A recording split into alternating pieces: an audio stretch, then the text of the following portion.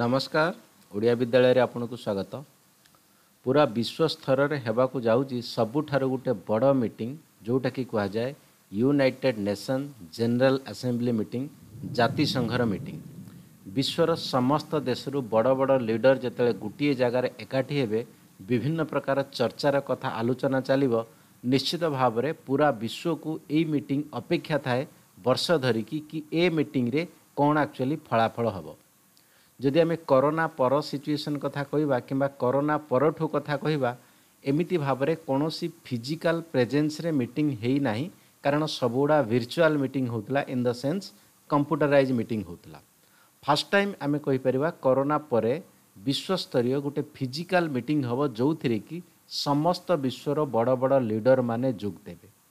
ଆ ଭିତରେ ଯଦି ଆମେ କହିପାରିବା ବହୁତ ପ୍ରକାର କଥା ହେଇଯାଇଛି ସେ କରୋନା ଚାଇନା ଠାରୁ स्टार्ट हवा कथा हो आफगानिस्तान कथा हो किंबा अमेरिका रे डोनाल्ड ट्रंप जा बाइडेन को कथा आसु तो ये समस्त प्रकार कथार कौटि ना कौटि चर्चा हे बाकी डिटेल्स ए मीटिंग रे कौन हम मुझे भी चर्चा करी आप आपत देखिपे Hindustan Times article action packed week UN General Assembly to begin here what is their agenda कौन कौन आकचुअली मीटिंग रे एजेंडा रही पार तुम्हें रही देखो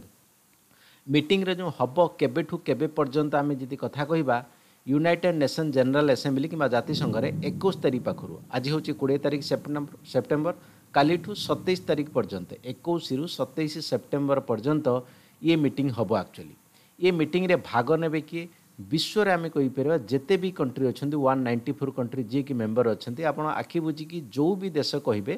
ସମସ୍ତ ଦେଶ ଆକ୍ଚୁଆଲି ଏଇଥିରେ ମେମ୍ବର ଅଛନ୍ତି ତ ଆକ୍ଚୁଆଲି କେତୋଟା ସ୍ପେଶାଲ ନର୍ଥ କୋରିଆ ହେଇଗଲା ईरान होगा अलग कतेट जिन सैंक्शन लगी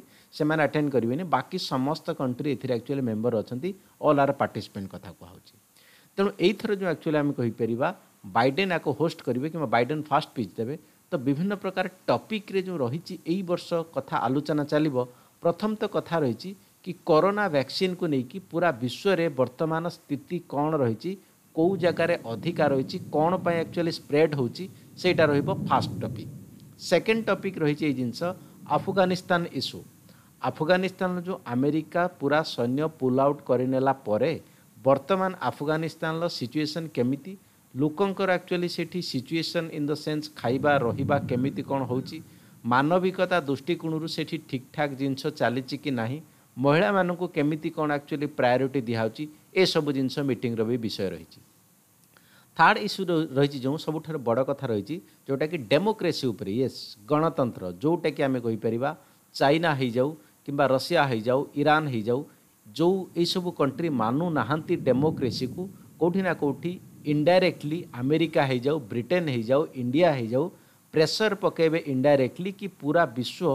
डेमोक्रेसी को मानु कारण डेमोक्रेसी हिं लोक अधिका फ्रीडम दिया जाए स्वाधीनता दिया जाए ତେଣୁ ଆମେ ଯଦି କୌଣସି ଜିନିଷକୁ ଲୋକଙ୍କୁ ଫ୍ରିଡ଼ମ୍ ଦେବା ନାହିଁ ମଣିଷ ଜନ୍ମ ହେଇଛି ଖୁସିରେ ବଞ୍ଚିବା ପାଇଁ ତେଣୁ ଆମେ ଯଦି ସବୁବେଳେ ଡରେଇ ଧମକେଇ ଚମକେଇ ରଖିବା ସେ ଦେଶର ଲୋକ କେବେ ଠିକ୍ରେ ବଞ୍ଚିପାରିବେ ନାହିଁ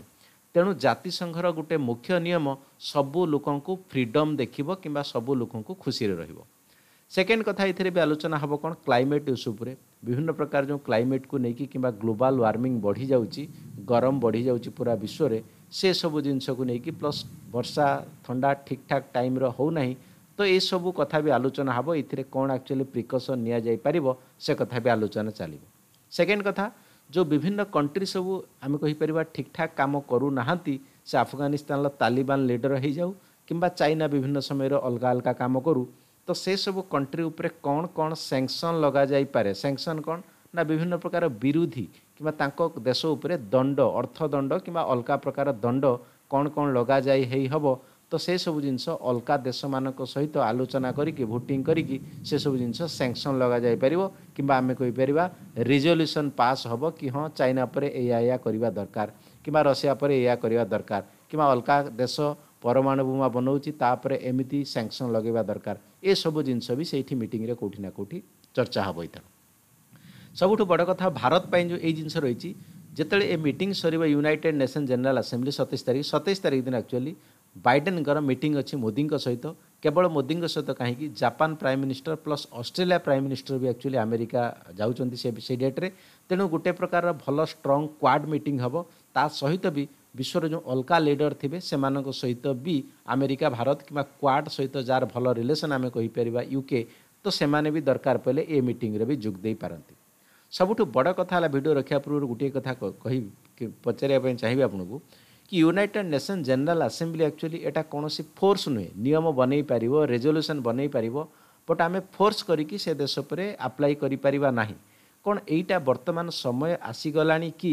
ଆମେ ଯଦି କୌଣସି ନିୟମ ଚାଇନା ଏଗେନଷ୍ଟରେ ବନଉ କିମ୍ବା ଯେକୌଣସି ଏଗେନଷ୍ଟରେ ବନଉ ସେଇଟା ମାନିବା ପାଇଁ ବାଧ୍ୟତା ହେବା ଦରକାର ସେଇଭଳିଆ କ'ଣ ନିୟମ ଯଦି ଆମେ ଜାତିସଂଘର କରିବା ସେଇଟା ଠିକ୍ ହେବ ନା ବର୍ତ୍ତମାନ ଯେଉଁ ପ୍ରକାର ନିୟମ ବନୁଛି କେବଳ ନିୟମ ବନିଯିବ ମାନିବେ ନ ମାନିବେ ସେଇଟା ଦେଶ ଉପରେ ଡିପେଣ୍ଡ କରାଯାଏ ସେଇଟା ଠିକ୍ ହେଉଛି